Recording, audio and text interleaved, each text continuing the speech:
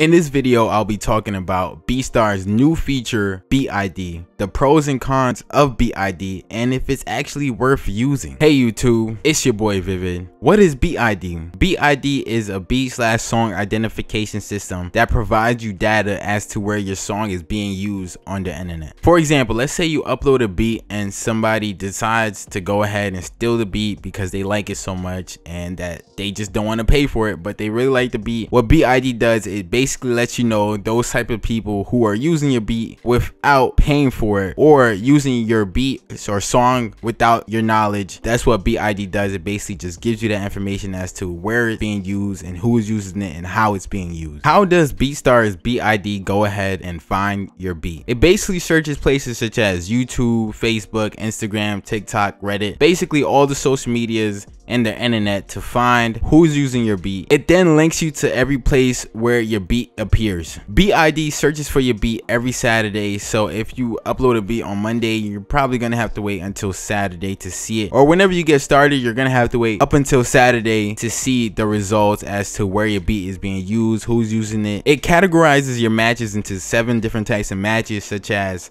exact match, full match, partial match, or if somebody using it in a snippet. So basically really goes in and really tries to find where your beat is being used or your song. But in this case, we're talking about producers and it really goes in and searches the depths of the internet, I'm assuming to find where and who is using your beat, even if it's just a little snippet, which I truly like. I like that. I really like that. How much is BID? BID is $10 per beat. Yes, $10 per beat. It costs way more than hitting that like button and commenting down below for the YouTube algorithm. I would truly appreciate it. Is BID worth it? One of the pros of using BID is let's say you're a music producer who has a beat that's went viral. What you can do now is track the data of that viral beat using the BID feature and that will tell you where your beat is being used, who's using your beat without your permission. It just gives you a bunch of information that would truly benefit you if you have a viral beat. Another pro is if you're a producer who sells beats online and have a bunch of beats that had a bunch of plays and you're selling a bunch of beats and you want to be able to see where your beats is being used and where it's being uploaded. This is also a feature that can benefit you because you will be able to see all of that data every Saturday. Of course, remember guys, it refreshes every Saturday, searches for your beat every Saturday. So definitely will be beneficial for producers who are selling beats online and want to know where their beats are being used and who's stealing their beats and where their beats are being placed on the internet. Now let's talk about some of the cons of Beat ID. One of the cons of Beat ID is Beat ID being $10 per beat. Let's say you're a small music producer and you're trying to use Beat ID for your whole beat beat catalog and you have a catalog of 100 beats, it's gonna cost you a thousand dollars per month to run beat ID on all of your beats if you have 100 beats. So it can get pretty expensive and I can see how that can be a problem for producers who have tons and tons of beats that have been producing for years and they just have such a long list of catalog and that they just want to track and see where their beat is being used and the information that they can get from using beat ID. Another con with using beat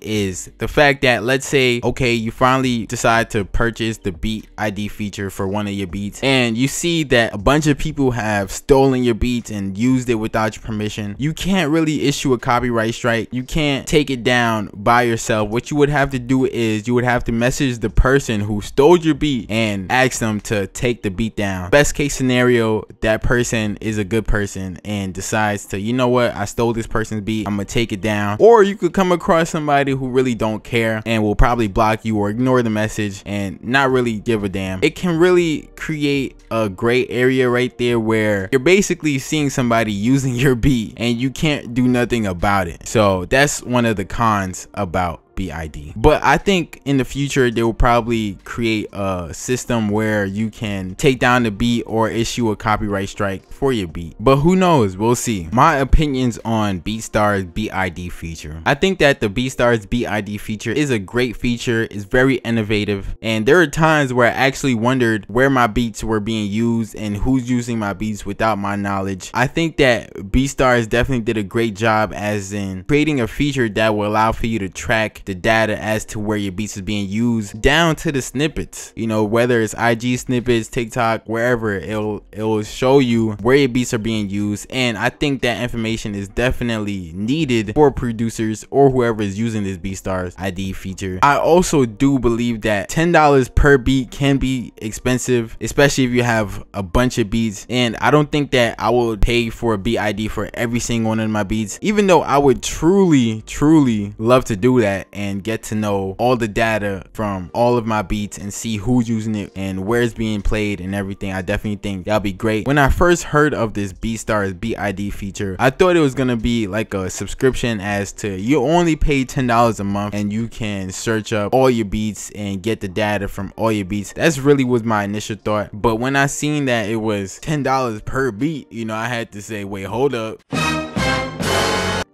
hold up now $10 per beat.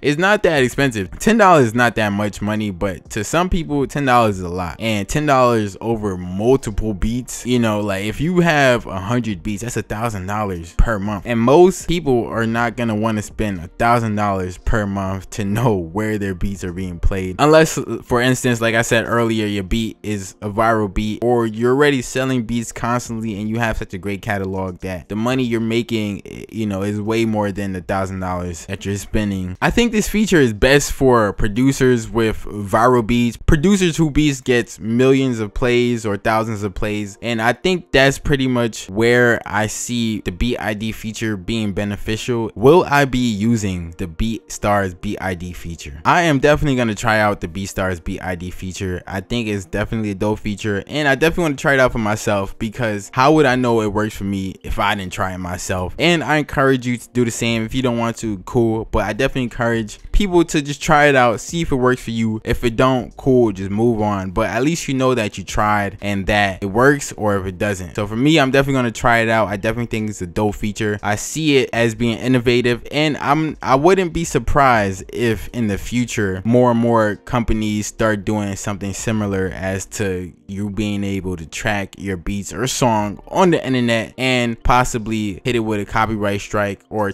takedown without messaging that person to ask them to take down the beat because some people are not going to do that. Some people are just going to ignore you, block you, and just keep it pushing. I definitely wish that they gave us the option to allow for takedowns and copyright strikes because I think that would be more beneficial and more willing to spend the $10 because I know that I can have more control as to what I can do with knowing that somebody is using my beat without my permission. Thank you guys for watching this video. I truly appreciate it. Please be sure to like, comment, subscribe. It'll mean a lot to me. Also, here are some videos that I think will be beneficial to you watching this video. It's your boy Vivid and I'm out.